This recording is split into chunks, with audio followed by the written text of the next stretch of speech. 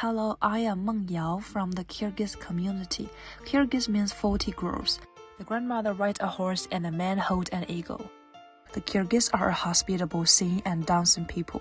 The Kyrgyz people are mainly found in Xinjiang, China. In addition to Xinjiang and Heilongjiang, they are also found in Russia and Kyrgyzstan. Our ancestors were nomads. In the summer, when nomadic herding season came, field houses would be stationed on the steppe. Modern herders would receive visitors to the mountains. Herders would also have permanent houses at the bottom of the mountain. Our traditional food is mainly cooked wheaten food and meat. Milk tea is indispensable before and after meals. The Manas is the national epic of the Kyrgyz people. Manas play and sing is also a traditional folk art. Want to know more about our story? Subscribe us.